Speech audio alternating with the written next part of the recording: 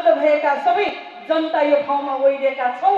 तर म भन्न चाहन्छु के त भन्दाखेरि आज जुन पाँच गते असंवैधानिक तरिकाले जुन प्रधानमन्त्रीले गर्नुभयो कु गर्नुभयो यो म यसरी फेरि यसरी प्रधानमन्त्रीज्यूलाई यही मञ्चबाट म के भन्न चाहन्छु भन्दाखेरि जब हामी लोकतन्त्रको लागि अनवरत रूपमा चार वर्ष सडकमा नेपाली कङ्ग्रेसको नेतृत्वमा हामी लागिरहँदै गर्दाखेरि यही प्रधानमन्त्रीले लोकतन्त्र गणतन्त्र कसरी आउँछ बेलगाडा गरी चढेर अमेरिका पुग्नु जस्तै हो भन्नुभयो। तर आज यही लोकतन्त्र पाएर उहाँ दिनैचोटि प्रधानमन्त्री भएर उहाँलाई कु गर्नलाई कुनै ठुलो अप्ठ्यारो भएन। त्यसैले म तपाईँहरूलाई भन्न चाहन्छु यो कु गर्दाखेरि उहाँले यो जुन यो दुःख गरेर लोकतन्त्र ल्याउन उहाँको कुनै हात छैन। जति नेपाली कङ्ग्रेसले दुई हजार सात सालदेखि अनवरत रूपमा जनताका लागि जनताका हक अधिकारका लागि अहिले बैसठी त्रिसठीको आन्दोलनसम्म हामी नेपाली जनता यतिकै लागिरहेका थियौँ हामीले सोचेका थियौँ पनि थिएनौँ कि अब त हामी आनन्दका साथ हामी अब अगाडि बढ्छौँ। अब यहाँका युवाहरूको लागि भविष्यको निमित्त अब हामी छाता कोर्दै बस्छौँ भनेर हामीले सोचेका थियौँ। संविधान पनि पहिले संविधान सभाको चुनाव भयो संविधान बनाउन सकेन। जब नेपाली कङ्ग्रेसको नेतृत्वमा संविधान गयो त्यसपछि संविधान बन्न सफल भयो। त्यसैले फेरि नेपाली कङ्ग्रेसकै नेतृत्वमा तिन तहको चुनाव भयो। आफू हार्दै गर्दाखेरि पनि जनताको अधिकार जनतालाई दिनुपर्छ भनेर नेपाली कङ्ग्रेसले चुनाव गराउन सफल गर्यो तर आज दुःखमय आज एउटा प्रधान थिए। अब त संविधान भयो। तपाईँहरूलाई भन्नु पर्दाखेरि जनताको कुल जनसङ्ख्या तिन करोडमा तपाईँलाई एक करोड सात लाख युवा बेरोजगार छन्। प्रधानमन्त्रीज्यू तपाईँले यो मन परि आफ्नो ढङ्गले चाहिँ पु गर्ने अधिकार तपाईँलाई छैन।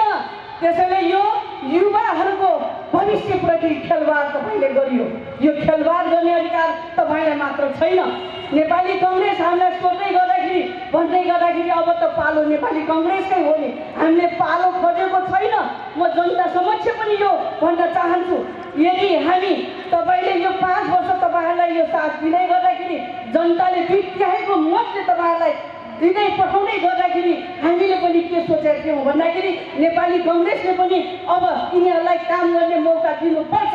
अब जनताको यो जनता र युवाहरूको भविष्यमा खेलवाड गर्नु हुन्न भनेर नेपाली कङ्ग्रेस पनि हामी पनि चुप्पै लाएर बसेका थियौँ। हामीले भाग खोजेको पनि छैन हामीले समय खोजेको पनि छैन।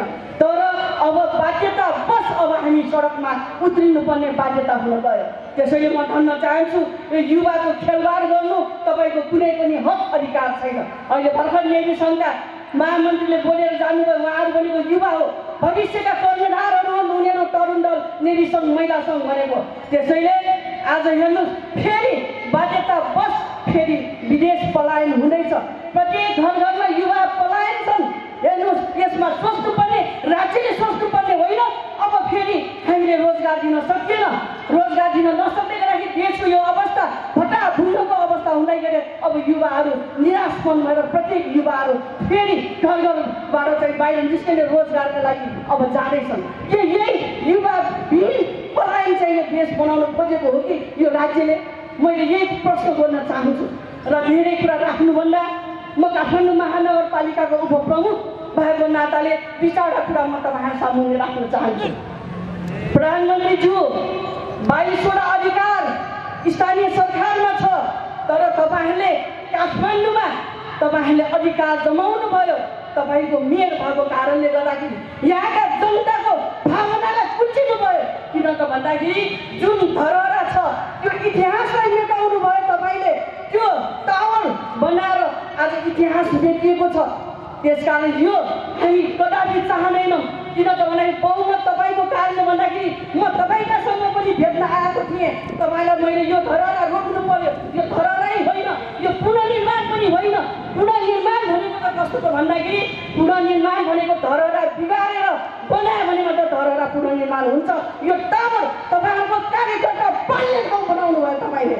त्यस कारण म तपाईँहरूलाई भन्न चाहन्छु सम्पदामाथि पनि तपाईँहरूले प्रहार गर्नुभयो। देशका जीवन काठमाडौँ महानगरपालिकाका जनताको छातीमा कुल्चेर तपाईँहरूले काम गरिराख्नु भएको छ। अर्को कुरा म तपाईँहरूलाई भन्न चाहन्छु रानी पोखरी धेरै यहाँ भाइहरू म युवाहरूलाई पनि सलाम पुग्न चाहन्छु। यहाँ जति पनि सम्पदा प्रेमी भाइहरू छ उहाँहरूको कुरा सरकारसँग पुगेन। जब काठमाडौँ महानगरपालिकाको उपप्रमुख स्ट्यान्ड लिनु पर्यो आज रानी पोखरी मल्लकालीन जस्तो बनाउन आज सफल भयो। नत्र त्यसलाई पनि व्यापारिक प्रयोजनमा गइसकेको थियो धेरै कुराहरू छन् फेरि आयो अर्को कुरा टुरी खेलमा म हुँदाहुँदै काठमाडौँ महानगरपालिका मेरो कर्मथलो अठाइसवटा त्यहाँ चाहिँ मैले आफैलाई थाहा छैन जब कि स्टाइल यो पब्लिक टोइलेट बनाउनुको लागि स्मार्ट टोइलेट बनाउनुको लागि एक महिना अगाडि त्यो ठाउँमा म जाँदाखेरि त्यतिखेर त्यो त्यो पसलहरू थिए। थिएन। जब म पछि एक महिनापछि त्यहाँ देख्दै जाँदाखेरि हेर्दाखेरि मलाई युवाहरूले नि खसाउनु थालेर त्यसपछि त्यहाँ हेर्नु यो गाउँवटा पसल राख्नु पनि चलायमान पनि भयो। त्यसै कारणले यही सरकारले प्रधानमन्त्रीज्यूले धेरै आवाज र यहाँका जनताहरू सबै उठाएका कारणले गर्दाखेरि आज टुरी खेलमा यही प्रधानमन्त्रीले गोचर लाउनु पर्यो।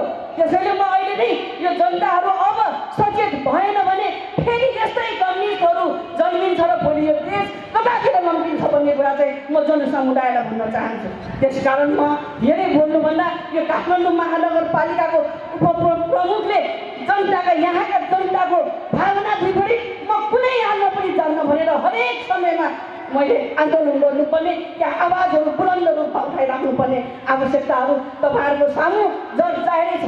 त्यसैले प्रकाश दाई तपाईँ यहाँको नेता हुनुहुन्छ हुन त तपाईँ राष्ट्रिय लेभलको नेता पुगिसक्नुभयो तर तपाईँ यो ठाउँको जन्मथलो भएको कारणले अबको नेता तपाईँ जस्तो हामीलाई चाहिएको छ यही हामीले खोजेको त्यसैले धेरै बोल्नुभन्दा मैले जुन यो ठाउँमा बसेर जुन नेपाली कङ्ग्रेसले एउटा विश्वासका साथ मलाई पठाउनु भयो नेपाली कङ्ग्रेसलाई एउटै किसिमले मैले कदापि काम गरेको छैन भन्दै म यहाँबाट बिदा चाहन्छु धन्यवाद